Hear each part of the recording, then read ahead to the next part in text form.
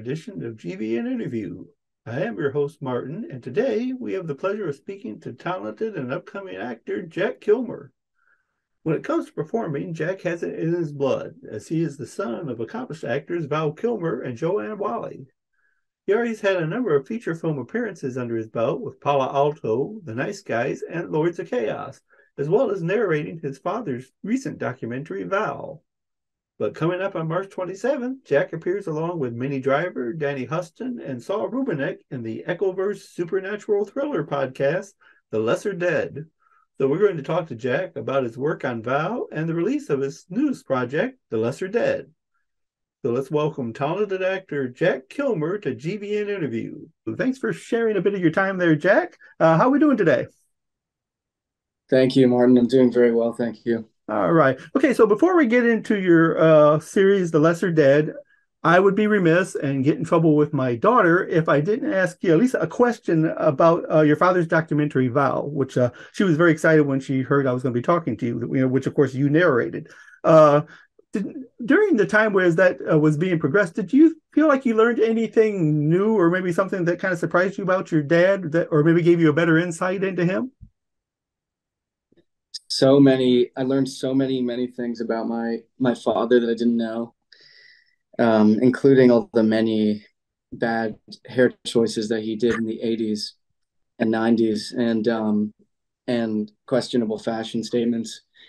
But um, but yeah i mean he my my dad uh, has lived a very crazy unusual life. And um, he forgets a, a lot of a lot of things and sometimes he will have a memory that um, comes back to him and and um, the footage brought back quite a few memories from from on set um, from the you know productions of a lot of like these massive films he was on. So it was a really amazing experience but also, I noticed you played guitar in a segment. Is that something you like to do, or do you just do that for fun? Or yeah, I've always played guitar and and piano and various instruments. Right, I'm actually putting out music on the eighth of April under my own name. And it'll be my first release,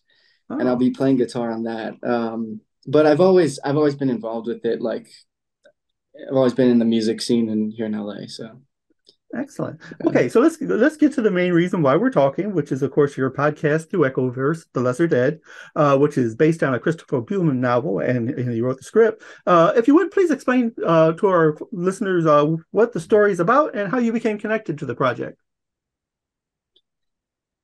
Right. So The Lesser Dead is a um, let's see, it's an audio drama, and it it basically embeds you in this world of these quirky vampires in New York City in the 1970s.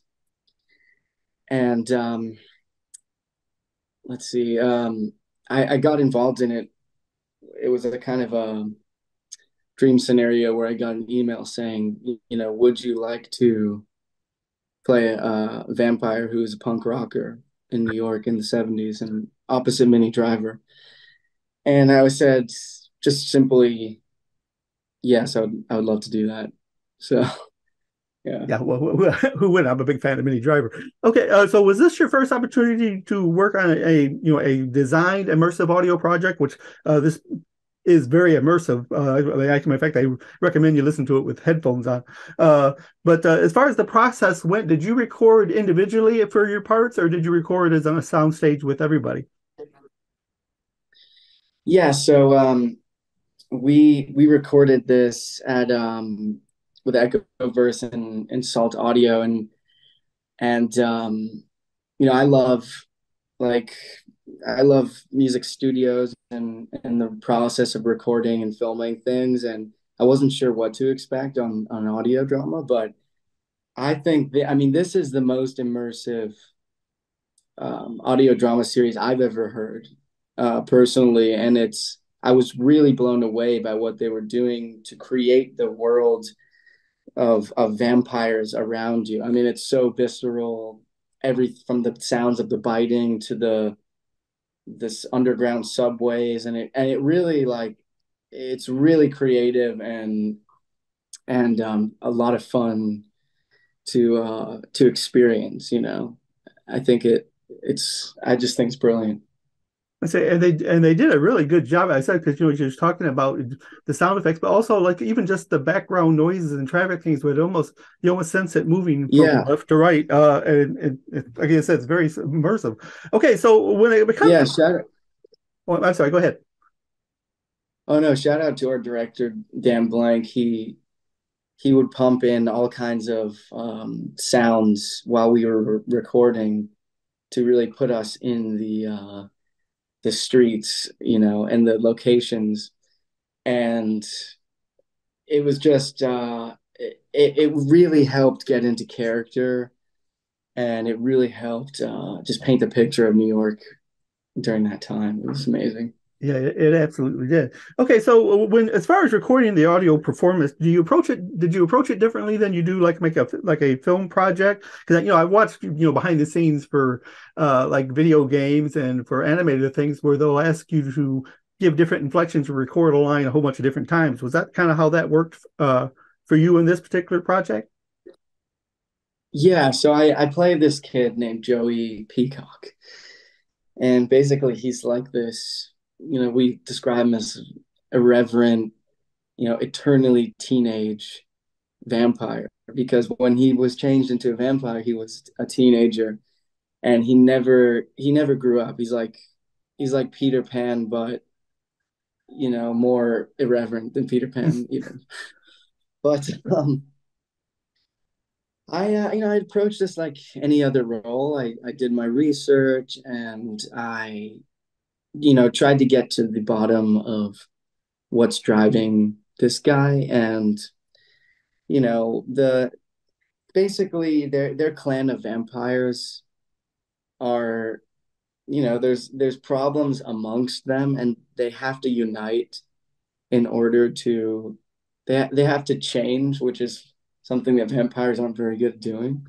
and they have to come together to defeat like these outside forces that are you know sort of against their way of life and threaten their way of life. And and through that my character joey peacock he has to really dig deep and just figure out what his purpose is on on the planet you know? And that's that can be very that's hard for the average person but for someone who's living dead that's even more confusing.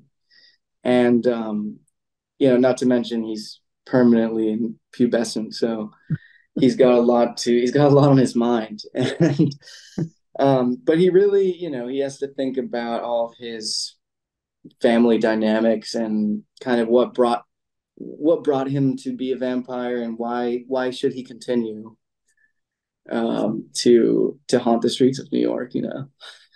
All right. Okay. So now uh, you're working with some seasoned acting veterans, including we mentioned Minnie Driver and Danny Huston and Saul Rubinek, who I'm a big fan of from appearances in Star Trek and such.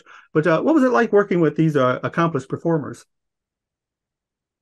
It was such a pleasure to work with these seasoned actors. Minnie Driver is uh, an absolute professional, and um, it just it it it takes your performance and it and it raises it to another level. And I, I don't know quite what that is, but when you're in a scene with them, you uh, you bring your A game and you bring a kind of energy that um, that you only that you just dream of as an actor, you know, because they have that they have that focus and that energy that um, gives great performances you know? And yeah. and so it's really a pleasure because it makes my job so much easier. And um and then they're also they're also pros at having fun. That's another key to being that's another trait that they that they have. So they you know they bring in all kinds of they keep it very fun and keep it light you know Excellent. Okay, so I also noted that both uh, Minnie and yourself are listed among the executive producers for the podcast. Was this something that you wanted to do from the beginning, or is this something that kind of evolved as you as the as the, the project progressed? Oh, um, I think it sort of evolved naturally from the inception of the project. I think it's like you you have to be very involved in the production when you're when you're in the studio every day because there's so many decisions um, that are unlike a film shoot. There's so many group more like group decisions, I think. And so I think yeah, I mean to be honest though, the credit should go to everyone at Salt and Echoverse who worked really, really hard, long hours, you know. And um yeah. Yeah. Okay. Okay. Now, you know, we speaking of performers, and this is something I tend to ask of, especially young actors. Uh, you know, you're no stranger to being around great actors through your dad and your mom. But have you reached the point in your career where you know if you're going to be working with you know like like like these folks uh do you get intimidated or you know kind of wondering if you fit in with these uh seasoned people oh 100% i'm i get intimidated with working with these legends. Um but i also i have a perspective um where when it comes down to the work that's always the most important thing. And, and um and you really owe it to the, your character and you owe it to the writing to to give a good performance. And so if you focus enough on that i think the the kind of um you know all the hype kind of takes a background but it, it definitely does um yeah it's you know i get i get nervous like anybody like anybody else um but um but yeah when you really when you really focus in on what we're doing and what, what you're doing, it that takes a president, you know. I say, and of course, I guess it also helps, as you say, that when your fellow performers are kind of supportive and kind of loose, it helps you to loosen up some, uh, where you know they're not taking it yes. so seriously. Yeah. All right. Okay. Yes, so actually. All right, very good. All right, well, that's all I got for you, Jack. But before I let you go, and you kind of mentioned something a little bit about, but I wanted to give our followers a chance to for you to promote anything else that you have coming up, including maybe your your music, uh, or and where can fans go to listen to the Lesser Dead? Yeah, so the Lesser Dead, it's a really fun, really, really cool um, show. It's out on um, Wondery Plus March 27th, and then it will be available everywhere two months later in May on all streaming platforms. But you're going to want to subscribe to the Wondery Plus because there's so many more features. There's no commercials, and you also get access to everything else on that platform, which is pretty amazing too. Um, but yeah, I I play you know again like this punk rocker from the '70s and I'm a vampire, and it's uh, loaded with like really cool music and great acting by me and Minnie Driver, and um, yeah, also you know I've I've got a record coming out soon under my own name on uh, April 8th, so check that out as well. Thank you very much. All right, very good. All right, so uh, let's say we will be following the Lesser Dead very closely, and we'll be following you and uh, your projects as well. And I thank you for your time there, Jack. Thank you so much. All right. Good one. Thank you for watching GVN Interview. GVN Interview is a production of Geek Vibes Nation.